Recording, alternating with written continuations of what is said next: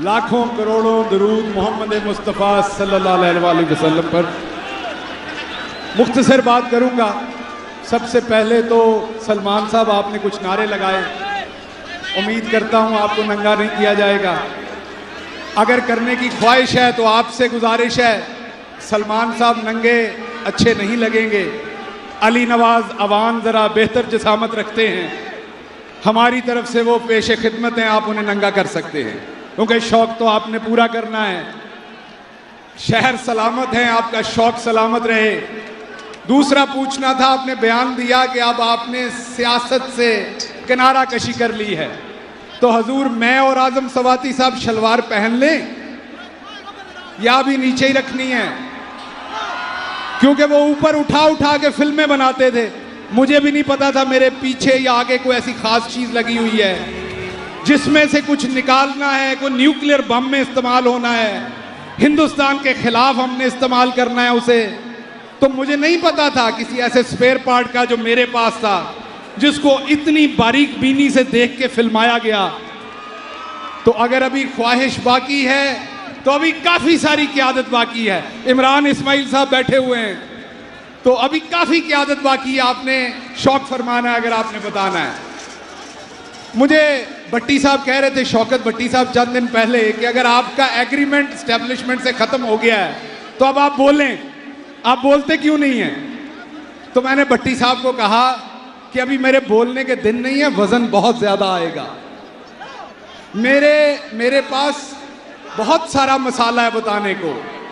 मैंने 16 दिन गुजारे हैं। उन 16 दिन में हमारे नए आने वाले चीफ साहब के बारे में भी मुझसे बड़े सवाल हुए। आसिम मनीर साहब के बारे में भी। सो वक्त आ लेने दें। वक्त भी यहाँ है। बस एक मेरा अरशद यहाँ नहीं है। बाकी तो सब कुछ यहाँ है। वक्त भी यहाँ है, हम भी यहाँ हैं, आप भी यहाँ हैं। जट्टा ते वैसे भी रिवाज है, अगलियाँ नस्लों को भी बदला लैन का इसलिए सब कुछ इतने ही है।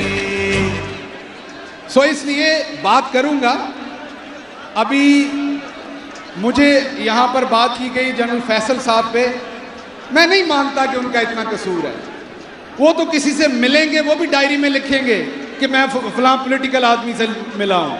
ये कैसे मुमकिन है कि बाजवा साहब के अहकाम के बगैर वो मुझे और आज़म सवाती को नंगा करें? ये कैसे मुमकिन है कि उनके अहकाम के बगैर एक मेजर जनरल रैंक का बंदा कुछ करे? इसलिए अभी क्योंकि आपके जिसम पे वो वर्दी है जिसका हम बड़ा एहतराम करते हैं। मैं ये भी मानता कि तो डरते भी हैं तो क्योंकि तुम कुटते बड़ा हो मैं मुनाफकत नहीं करांगा। लेकिन असल गल ये कि थोड़े जिसम ते वर्दी है, जिदा एहतराम करते हैं। सो ये लम्हा गुजर लेने दें। ये लम्हा आप जी लें। हम इस लम्हे में अपनी ख्वाहिशें दबा लेते हैं। लेकिन लम्हे आने हैं, उसमें हम भी बात करेंगे। अपनी फौज के बारे में बात नहीं करेंगे कभी भी। ना पहले की थी अक्यूज किया गया बार बार ना अपनी फौज पे पहले बात की थी, ना आज बात की है, ना मेरे अरशद ने बात की थी, ना हमने की थी। पर्सनैलिटीज पे बात की, जिन्होंने गलत काम किया, उन पे आइंदा भी बात होगी। आखिर पे क्योंकि वक्त कम है, मैं सिर्फ़ आखिरी बात आपको बताना चाहता हूँ। अरशद मेरा दोस्त, मेरा भाई। मरने से तीन दिन पहले मेरी उससे, शहीद होने से तीन दिन पहले, उससे मेरी बड़ी लंबी बात हुई। उस बात में वो इंतज़ार कर रहे थे। उन्हें बड़ी उम्मीद थी जनरल आसिम मुनीर से। मुझे उन्होंने खुद बताया कि चांसेस हैं या जनरल आसिम मुनीर आएँगे या जनरल साहिर आएँगे। ये दोनों आए, ये हमें इंसाफ देंगे। ये दोनों आए, पाकिस्तान में सुकून होगा। ये दोनों आए, पाकिस्तान में लॉ और सियासत और डेमोक्रेसी का बोलबाला होगा। आसिम मुनीर साहब, आप आ चुके हैं। अरशद शरीफ की आवाज़ बंद की जा चुकी है।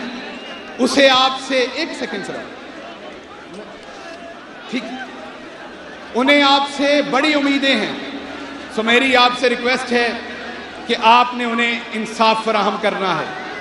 अगर कोई गलत अक्यूज़ हुआ हुआ है तो बिल्कुल वो बरी हो जाए।